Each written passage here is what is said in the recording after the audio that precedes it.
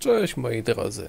Dawno niczego nie nagrywałem, ale raz, że miałem przerwę od War, Thundera jakieś półtora miesiąca, a dwa, no nic godnego uwagi się nie trafiało, aż do wczoraj. Trafił mi się pojedynek z graczami Black Dancer i Shrek 11, a oto jak on wyglądał.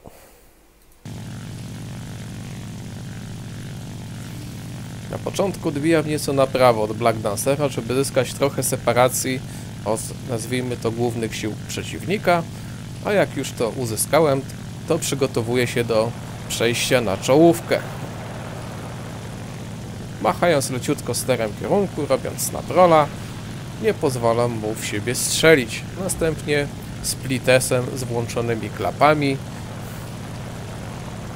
przechodzę pod niego, przy okazji tam zerkam cóż ten y, cały Shrek wyprawia, bo to mnie na początku moc, mocno irytowało i martwiło, że będę musiał jeden versus dwu, dwóch walczyć.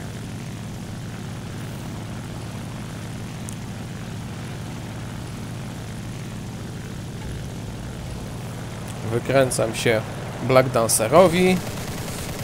Nakierowuję na Shreka, próbując go trochę y,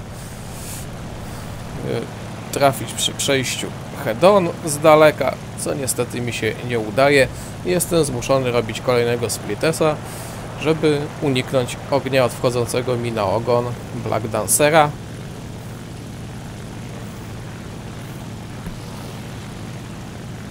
Ale w tym momencie całkiem dobrze upozycjonowałem sobie przeciwników, obaj na moim ogonie i obaj mniej więcej w tym samym miejscu, więc manewry unikowe nie będą aż tak kłopotliwe. Tutaj mi zniknęli na chwilę z oczu. Musiałem się wspomóc tą kamerą śledzącą przeciwników. No i znalazłem jednego z nich. Nie wiem, który to jest.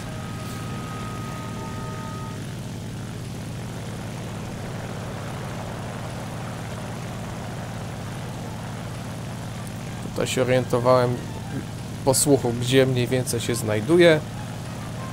No i tu wszedł mi Black Dancer w pole widzenia. Widzę, że się zdo zdoła nakierować na czołówkę, dlatego leciutkim snaprolem się wywijam i przechodzę do kolejnego Split S-a.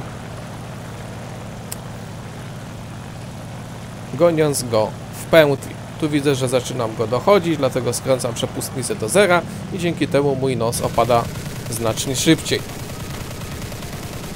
co pozwala mi go ostrzelać i wygrać pojedynek. Mam nadzieję, że się podobało i trzymajcie się do następnego. Cześć!